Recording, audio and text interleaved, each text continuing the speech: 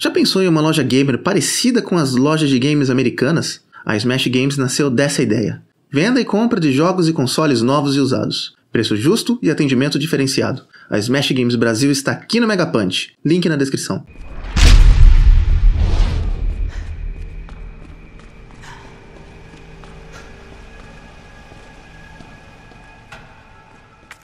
E aí galera, beleza? Aqui quem fala é o Ness. No vídeo de hoje nós vamos conversar um pouco mais aí sobre Resident Evil e a possibilidade da série estar chegando no fim. É isso mesmo que você ouviu, hein? Mas antes de nós entrarmos nesse assunto, quero convidar a todos para se inscrever no nosso canal, curtir o vídeo e ativar o sininho. O Megapunch traz notícias do mundo dos games e do entretenimento, dando um soco na cara da hipocrisia se inscreva e fique atento. Aproveito também a oportunidade, convido todos aí a se inscreverem também nas redes sociais do Megapunch. Curtam aí a nossa página no Facebook, nosso perfil no Instagram e visite também aí a nossa parte de membros. Lá você consegue ver os benefícios que eu e Beyond preparamos para você. E se for do seu interesse, nós ficamos muito felizes em ter você como um membro patrocinador do Megapunch. Mas enfim, bora lá pro assunto, Beyond. O assunto de hoje vem aí mais uma vez daquele, daquela velha fonte, o Dusk Golem. Dusk Golem, para quem não sabe, né, não acompanhou aí os nossos outros vídeos a respeito uh, desse assunto. Normalmente o assunto, quando o assunto é Capcom, o Dusk Golem é o cara que acerta tudo. Ele sempre sabe exatamente o que está acontecendo aí com a empresa, ele tem informações quentes e até hoje ele praticamente assim nunca errou informações. Ele sempre acerta, acertou aí sobre vazamentos de Resident 2, Resident 3, até, até vazamentos aí relacionados ao Resident 7. Então o cara já está aí no mercado, né, na, na comunidade gamer relacionada a Capcom há muito tempo, então o cara assim tem muita, tem muita credibilidade. Bom, dessa vez o Dusk Golem ele falou que o ciclo Resident Evil está chegando ao fim. A empresa tem aí planos para acabar com esse ciclo de histórias a partir aí do Resident Novel, ou seja, o Resident Novel seria uh, o ponto final nessa história aqui que foi contada até agora. Ou seja, né, Beyond, quando ele falou isso daqui, automaticamente eu pensei no seguinte: uh, os personagens estão evoluindo, o tempo está passando, eles estão ficando mais velhos, a história deles está acabando. Mas eu não acho que deve ser um fim da série Resident Evil. Talvez um fim aí dos personagens que a gente conhece. O que você acha sobre essa informação aí? Mano, eu acho que faz sentido. Eu acho que faz sentido. Assim, mano, por mais que a gente adore Resident Evil, eu amo Resident Evil, eu adoro Resident Evil, não dá pra adorar pra sempre, né, velho? Senão vira malhação. Meio que já tá virando. E assim, não tem nenhum título, nenhum, não tem nenhum jogo principal da franquia que eu não goste. Mesmo o 5 e o 6. O 6 tem. tem vários defeitos. Mas eu acho que são todos jogos que dá para se divertir se você. Se você for de coração aberto, digamos assim. É claro que nenhum desses jogos mais recentes do Resident Evil para mim chega nos pés dos, dos clássicos, dos três primeiros, e do Code Verônica. Mas eu acho que ainda é uma série muito legal. Ainda é uma série muito, muito bacana.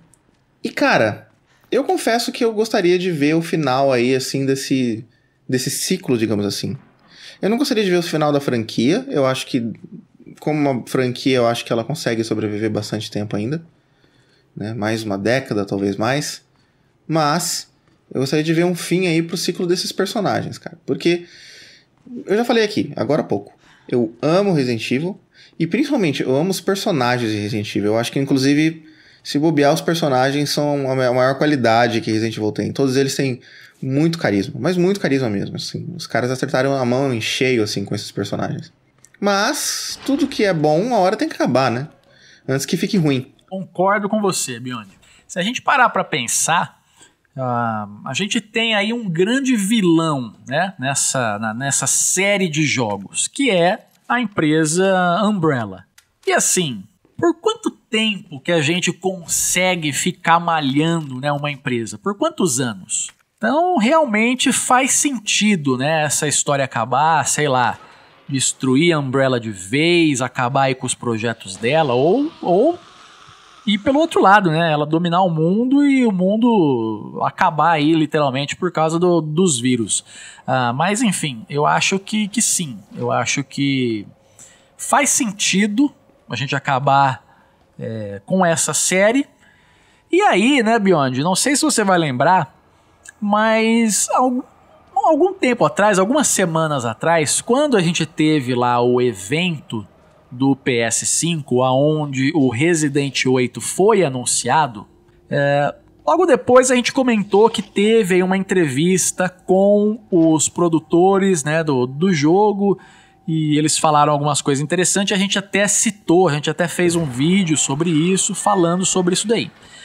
E logo depois disso daí, né, dessa entrevista com eles, uh, surgiu aí uma outra matéria de que os caras da Capcom eles falaram que o nome do jogo não é Resident Evil 8. O nome do jogo é Resident Evil Village. E aí a gente até pensou em fazer um vídeo sobre isso, mas a gente achou assim uma coisa meio boba, né? Nada a ver, né? Assim, os caras não querem que o jogo seja chamado de Resident 8, inclusive isso existe, tá? É só vocês pesquisarem no Google vocês vão ver uma história bizarra. A gente não, não falou nada aqui no canal porque a gente achou realmente bizarro e a gente achou, achou assim uma besteira, né? Ah, o diretor, sei lá, o produtor tá falando merda. E parando para pensar agora, Beyond, faz sentido, né? Faz sentido, porque olha só, se essa essa saga aqui de Resident Evil acabar, a tendência é que os próximos jogos eles não sejam mais numerados. E isso vai de encontro com o que o Dusk Golem falou. Ele falou que os jogos não vão ser mais numerados.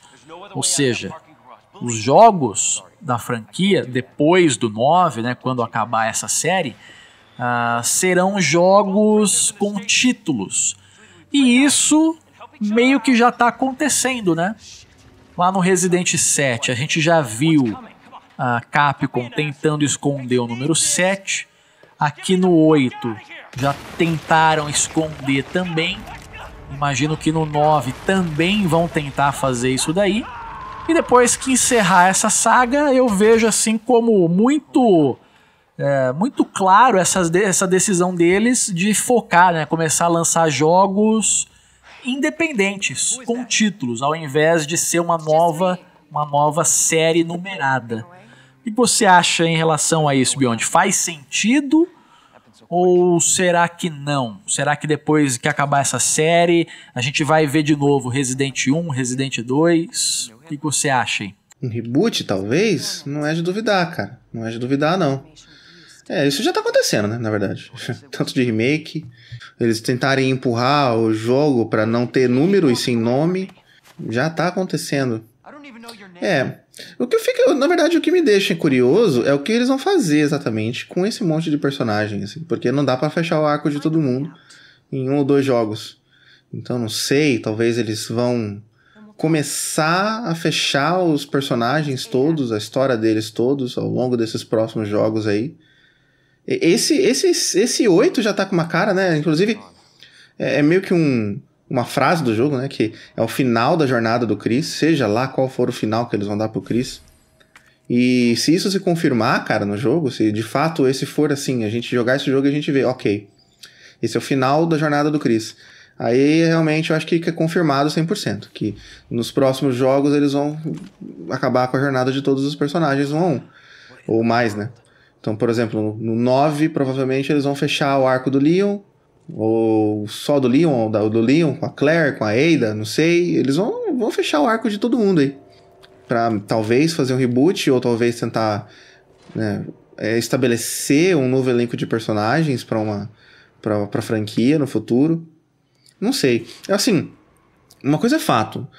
jogo de Resident Evil não vai parar de ter. Porque isso daí é uma galinha de ovos de ouro pra Capcom. Essa franquia é muito forte. A questão é o que eles vão fazer, né, exatamente. É, eu fico curioso para entender isso daí, porque esses vazamentos, né, do Dusk Golem, eles meio que batem, né, com o que a gente tá vendo aí, né, do Resident Evil 8 já. Então eu acho que, não sei, cara, eu acho que realmente tá encaminhando pra esse lado aí. É, o Dusk Golem, inclusive, ele já vem comentando, já vem divulgando algumas informações a respeito aí do próximo jogo da franquia. Lembrando que o Resident 8 ele deve sair aí no começo de 2021. Então, já falando sobre o próximo, que teoricamente, né, seguindo o cronograma, que deve sair lá em 2022, que seria o Resident Evil 4. O Dusk Golem ele já falou que não é um remake, ou seja, não esperem ver o mesmo jogo. Ele falou que é uma reimaginação. Então, assim, pode ser, Beyond, pode ser que agora no Resident 8 a gente veja o final do Chris. E aí pode ser que nessa nova reimaginação a gente veja o final do Leon, por exemplo. Mas ainda assim, falta muito personagem, né? Teve, tem personagem aí na história que não aparece há um bom tempo. Né? Por exemplo, a, a Jill, teoricamente, a última aparição dela, de fato, foi ah, no Resident 5. Apesar que ela apareceu lá depois no Revelations, mas o Revelation é um spin-off, mas é canônico, enfim, é uma coisa estranha, né? Esse, esse negócio aí do, do, do, do, dos Resident Evil Revelation. Uh, a Claire também faz muito tempo que não aparece. O Barry apareceu no Revelations 2, mas é aquele negócio, né? É um spin-off, não é canônico, enfim. Ou seja, o que eu quero dizer é o seguinte: tem muito personagem ainda que na série numerada faz tempo que não aparecem. Será que a Capcom simplesmente vai vai esquecer, né? Não vai desconsiderar esses personagens ou será que realmente vai tentar, a empresa vai tentar, né, fechar fechar o enredo, né, fazer uma coisa redondinha, dar um final merecido aí para esses personagens? Boa pergunta, cara. Eu acho que a gente vai poder ter um gostinho do que eles estão pensando em fazer agora com Resident 8, né? É, se se confirmar de fato, né, que essa vai ser o, esse vai ser o fim da jornada do Chris, é, eu acho que tem que ser um fim digno, né? Porque afinal de contas é o personagem que deu origem à franquia. Todo mundo paga pau pro Leon, mas o Chris é foda também, né? Então tem que fazer jus, tem que ser jus. Vamos ver, cara, vamos ver. Eu, eu tô. Eu não sei, cara. Depois de assim, depois de umas notícias, né, que o, Gus, o Dusk Golem vazou também sobre o, o desenvolvimento do Resident Evil 2 Remake, que foi uma bagunça, que tipo, quase que o jogo não sai. E que, tipo, o jogo ter saído já foi uma puta de uma sorte. O jogo ter saído bom foi uma sorte maior ainda. Foi, tipo, uma das maiores sortes da história da sorte, assim. E por causa dessas coisas, eu percebo, assim, sabe? Ainda mais agora com essa coisa do Street Fighter também que a gente comentou esses tempos.